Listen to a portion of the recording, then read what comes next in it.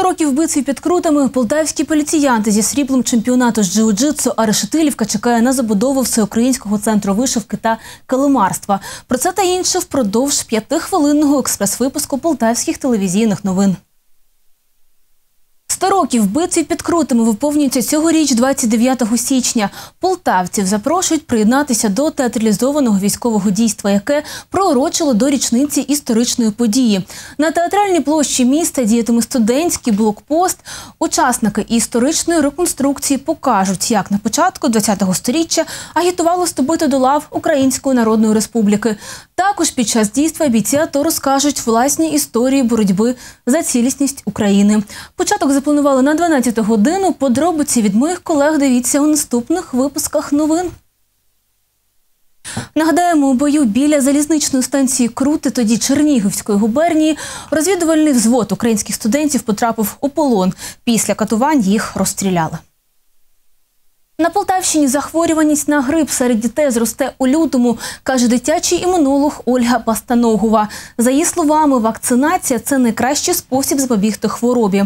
Потрібна вакцина в області є, попри рекомендації лікарів. Є батьки, які вагаються. Щепити дітей чи користуватися іншими засобами захисту від грипу. Поради від дитячого імунолога далі. Все препараты, которые есть в аптечных сетях, это иммуномодуляторы, иммуностимуляторы, они абсолютно не имеют никакой доказательной базы, и они неэффективны при лечении гриппа и вирусных инфекций. Самое основное – это ввести активный образ жизни, э, детей просить чаще э, мыть руки, э, в период заболеваемости вирусной инфекцией и гриппом поменьше посещать общественных мест, то есть супермаркеты, какие-то детские закрытые закрытые клубы, то есть уменьшить это количество посещений. Ну и, конечно же, э, больше просто гулять на свежем воздухе, заниматься активно э, спортом. Зазначимо, за останні чотири місяці щеплення від грипу зробили 8 тисяч жителів Полтавщини. Серед них 1400 дітей.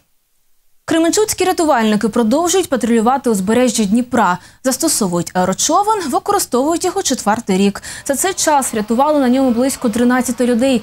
Про це повідомив начальник Кременчуцької рятувально-водолазної станції Василь Білоус. За його словами, попри морозну погоду, товщина криги на водоймах залишається небезпечною для любителів риболовлі та для тих, хто виходить на зимові водойми. Сейчас сложилась такая остановка, морозы, и Днепр э, частично покрывается льдом, потом образуются дрейфующие дины, и э, для того, чтобы проводить операции, мы сейчас используем уже третий год подряд, это четвертый даже, это Раглистер. Місце на чемпіонаті полтавські поліціянти забрали срібло українських змагань з джиу-джитсу серед патрульних. Участь взяли майже 100 поліцейських, серед них 5 жінок. Всього захід об'єднав 14 управлінь патрульної поліції України. Слава энергии, эмоций очень много. Действительно, это хорошая пропаганда спорта. Хорошая пропаганда среди полицейских. Потому что полицейский должен быть сильный, уверен в себе, профессиональный. Чоловіки змагалися у шести вагових категоріях. Жінки в одній до 60 кілограмів. У результаті одне місце забрала Ольга Мілокулова з Полтави.